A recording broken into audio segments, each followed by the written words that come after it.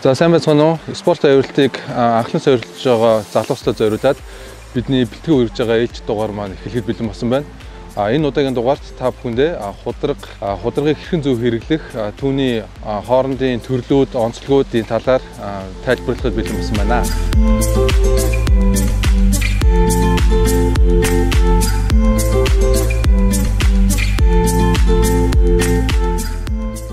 За худрагны ерөнхий зорилт бол бэхлэгэнд орох зорилттой байдаг. Тэр нь юу гэсэн үг вэ гэхээр жишээ нь та өндөр ууланд явж байгаа тохиолдолд багийнхаа хүмүүстэй нэг осонд орж явах хатан дээр авиралт хийж байгаа тохиолдолд одоо анкер дээр хамгаалт хийж бэхлэгээ хийж өөрийгөө илүү аюулгүй эрсдэлгүй орчинд авчих гэж иймэрхүү зорилтуудтай байдаг.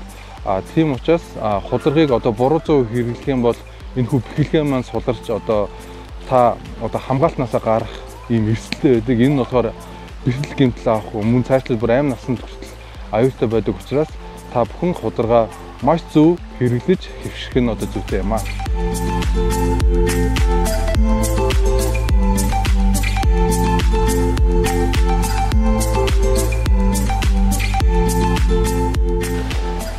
За одоо хударганы төрлүүдийн талаар та бүхэндээ тайлбарлая хударгыг бол үндсэндээ бол томор нь бол хоёр төрөлд хувааж болно. Нэг нь болохоор спорт авиралтын одоо хадаа авиралтын гэсэн үг. Авиралтын нөгөөт нь болохоор өндөр уулын авиралтаар ингэж хувааж үзэж болно. Ер нь бол одоо жишээ нь ажлын худраг, юм бүтэн биеийн худраг ч юм уу зөндөө төрөл байгаа. Яг одоо бидний тайлбарлах байгаагаар бол одоо энэ хоёр төрлөөр бол хувааж үзэж болно. А эдгээр нь одоо хоорондоо ямар ялгаатай байдаг вэ гэхээр жишээ нь энэ бол өндөр ууланд авирахад тохиромжтой худраг байгаа. А тэгэхээр энэ одоо хийгдэж байгаа материал нь бол өндөр ууланд илүү нөгөө удаан алхалт хүнд ачаатай удаан алхалт хийдэг учраас ийм хөнгөн ийм одоо минимал хийцтэй байдаг. А тэгээ одоо жишээ нь энэ дээр бол одоо бороо шороо ороход бол усыг шингээхгүй одоо ийм зориултаар ингээ хийгдсэн байдаг. А харин болохоор хадны худраг буюу одоо спорт авиралтанд өмсөж байгаа худраг болохоор илүү динамик хөдөлгөөнүүд хийдэг одоо хаднаасаа ундаг гэх юм уу одоо тиймэрхүү үйлдэлүүд ихтэй учраас илүү зөөлөвчтэй материалаар унахад нуруу болон бусад одоо биеийн аль нэг хэсэгт болохоор гимтэлд учруулахгүй зорилгоор юм хамгаалтын юм зөөлөвчтэй материалаар хийгддэг.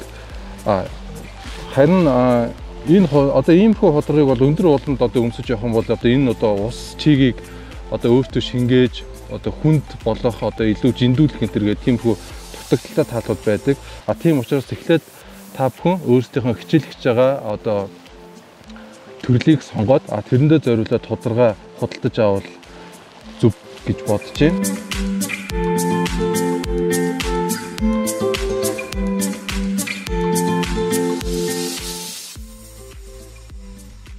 За одоо та бүхэндээ одоо худрагны буруу үнссэн байгааг одоо тайлбарлаж хүргэе. Ямар эрсдэлтэй ямар ямар эрсдэлтэй байдаг талаар нь. За эхлээд бол энэ хамгаалалт нь одоо ингээд сул гарч ирсэн байна. Энэ төдөл рүүгээ ороогүй. А ийм тохиолдол болохоор одоо яг энэ хэсгээр нь олс юм уу мөчөр ороод энэ бэхлэгийг бол ингээд суллах ийм аюултай байдаг. Тийм учраас энийг бол заавал энэ төдөл рүү ийшээ ингэж хийж а хөвших бол шаардлагатай. За энэ мэдлэл нь бол мөн ялгаагүй тийм харагдаж байна. За энэ бэлхүүсний энэ чангалгааг хийхдээ хит доор байна. Энэ бол заавал энэ ташаан толгооныхоо дээр нь одоо энэ сул ахт нь тааруулж агаад тэгээд ташаан толгооныхоо дээр байхад чангалгаагаа хийх хэрэгтэй. А ташаан дээрээ юм уу ташааныхаа доор бол чангалгаа хийх юм бол ямар нэгэн байдлаар та одоо авиралт хийж байхдаа одоо унаад төрүүлгээ харж унах юм бол одоо энэ хударган маань одоо мултарж унах одоо ийм эрсдэлтэй байдаг. Тэгэхээр энэ бол маш эрсдэлтэй. Тэгэхээр та бүхэн заавал ташаан толгойнхоо дээр нь чангалгаагаа хийж хөвшөөрэй. За өөр ямар алдаатай байна. За одоо энэ доотлолт бол энэ иргсэн харагдаж байна. А энэ хударганы маань одоо энэ материалын өнгө нь бол өмдтөөгөө ижлэхэн тохиолдолд бол ихэвчлэн хүмүүс одоо энэ андуурж одоо энийг эргүүлж өмсөх гээд байдаг. А тэгэхээр одоо энэ дээр бол илүү тод харагдаж байна. Одоо энэ тал нь бол ийм гიშгэн байхад а энэ тал нь ингээд эргэцэн байна. Одоо ингэж эргүүлж өмсөж бол болохгүй. Энэ болохоор яг одоо худалдааны маань үндсэн үүргээ одоо унжаах тохиолдлыг гүйцэтгэж чадахгүй энэ дээр бол ямар нэгэн байдлаар хөлд бол илүү ачаал өгч гэмтэл учруулах хэрэгсэлтэй гэсэн үг. Тийм болохоор ийм мушга эргүүлэг ийм хүү юмнуудыг бол огтлонч гаргаж болохгүй. За энэ доотлын буйны хамгаалтны энэ бэлгэлгээг мөн адил яг энэ төдийлрүү нь хийж өгөх шаардлагатай. Тэгэхгүй бол энэ дээр нь бас олс юм мөчөр ороод судлах юм аюултай байдаг. За энэ худраг маань бол өөрөө ингээ хоёр талаараа ингэж чангалдаг ийм төрлийн худраг байна. Тэгэхээр ийм худрагийг чангалахдаа юу анхаарах хэрэгтэй вэ гэхээр хоёр талаас нь яг жигд хэмжээгээр чангалгаа хийж өгөх хэрэгтэй. А хэрвээ тэгж жигд өгөөгүй тохиолдолд одоо энэ жижигхэн гогцоо маань уг нь бол яг энэ нурууны голоор орж ирж явах ёстой. Энэ бол ингээ хазаасан байгааг харж байгаа.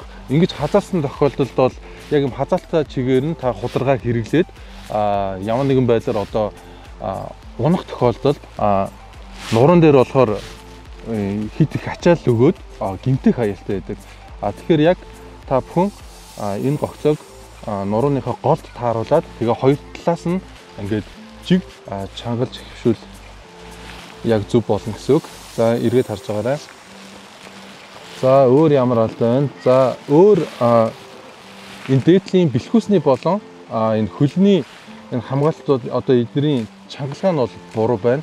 Одоо жишээ нь энтлийн хөл бол хит их одоо зайтай сул байгаа. Энэ нь болохоор хит их чангалсан байна. Тэгэхээр энийг бол чангалагыг нь бол яг зөв тохируулж хэрэглэх хэрэгтэй.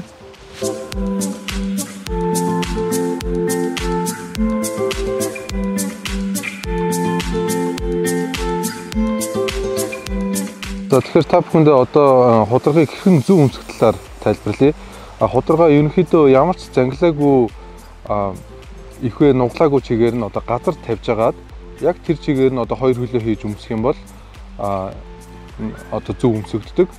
За худалгаа өмсөе. За ингэж газар тавьж өмсгөөр их хөвтөх юм байдаг. Ер нь одоо өндөр ууланд явдаг хүмүүс бол их хөвчлэн одоо сууж өмсвөл хөвтөх юм байдаг гэдгийг бол мэдж байгаа.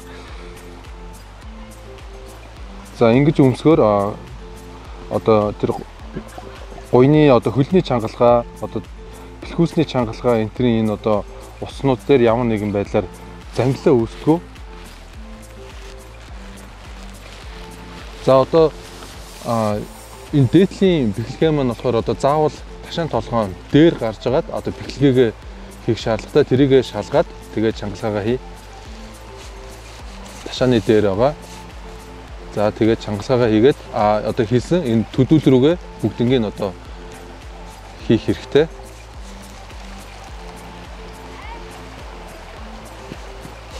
За энэ талаа хийлээ. Одоо энэ эхлээд байршлуудаа шалгана. Одоо энэ болохоор яг зөв одоо яг голдоо байна. За арийнхыг нь харъя. Арын одоо энэ жижигхэн гогцоо бол одоо яг нурууны голыг одоо дагаж байрлах хэрэгтэй. Тэгэхээр одоо энэ бол бас зөв байрсан байна. За Тэгэхээр одоо чангалгаагаа одоо хэрхэн зөв хийх вэ гэх юм бол чангалгаа бол одоо та өөрийнхөө гарыг оруулаад гар ороход бол тэр одоо нэг тийм бариу орохгүйгээр гар орно. Харин буцаж гарахтаа ингэж одоо барьж явах хэвээр. За яг тэрний дагуу чангалсан байна үзүүлээд за нэг гар орж ийн. За татаад үзлээ. Татаад ингээд татгаад татхад бол одоо гарахааргүй байх юм бол за энэ бол одоо яг таны хэмжээнд бол таарсан зөв чангалгаа байна гэсэн үг. За одоо хөлний хэсгийг одоо зөв өмсцгөөе. Одоо хөлний бол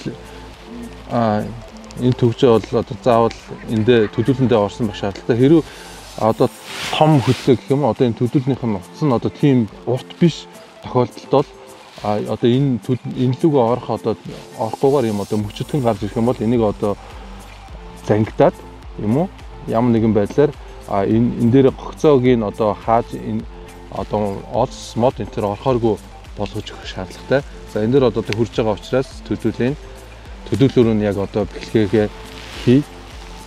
За энэ нь бас одоо ингээ орсон байна. За тэгэхээр одоо энэ хөлний энэ чангалгаа одоо хэрхэн зөв хийгдэх вэ гэхээр та одоо өөрийнхөө хоёр гарыг оруулахад гар бол орж явах хэмжээний байвал одоо тэрэн зөв. Одоо яг тэрний дагуу байна уу юу гэдгийг тохируулъя.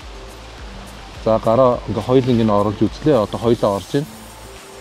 За яг иймэрхүү хэмжээтэй чангалгаагаа хийх юм бол зүг болно.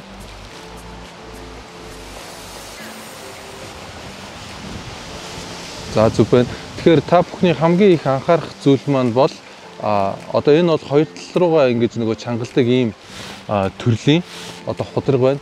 Нэг талдаа чангалгаа хийдэг бас худрагууд байдаг. А тийм худрагуудыг хүмүүс чангалахдаа нэг тал руугаа хит их гүйлгэждэг учраас одоо яг энэ арын болон энэ уртлын энэ одоо голцоонууд нь бол яг нурууны гол одоо яг биеийн голчийг даахгүйгээр аль нэг тийш рүүгээ одоо хазаачдаг учраас тэрийгээ та бүхэн маш сайн бодолцож чангалгаа хийгээд чангалгаагаа одоо сайн шалгасныхаа дараа авиралтаа бол эхлүүлэхийг бол зөвлөж байна.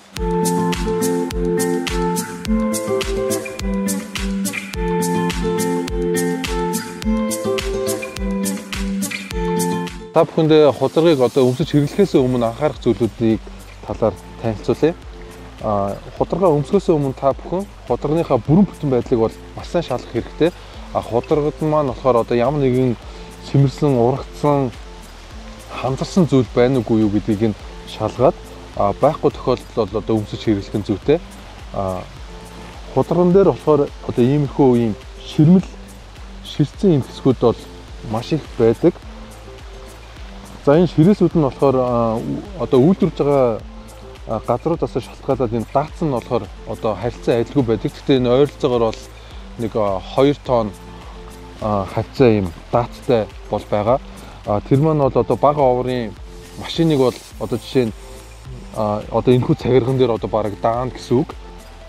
Тэгэхээр ийм одоо мундаг бол даацтай байдаг боловч энэхүү даацсан болохоор зөвхөн босоо чиглэлийн ийм тухтарлын хүчин дээр болохоор хүчинтэй үйлчлэгээ одоо сайтай байдаг. Одоо жишээ нь ингэж татагдах, ингэж татагдах үед болохоор энэ дац нь бол үйлчилж идэг боловч одоо яг энэ ширсэн энэ хэсгийн одоо амнаас нь хоёр тийш нь ингэж задлж татах юм бол бахаар бол баг би ч энийг одоо задлж чадхаар одоо ийм хэврэг байгаа.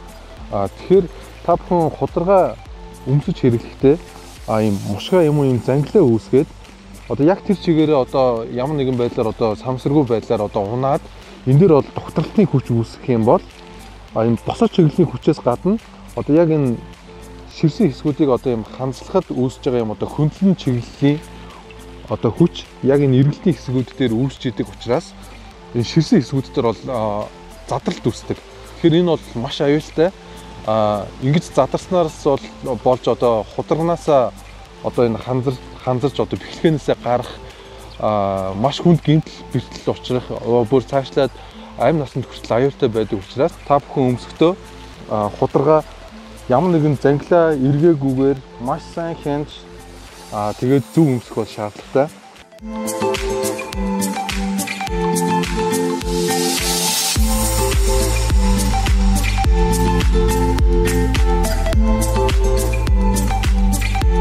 За өнөөдөр та бүхэнд хударгыг хэрхэн зөв өмсөх талаар тайлбарлаж хүргэлээ. Бидэнтэй хамт байсан баярлалаа. Баярлалаа.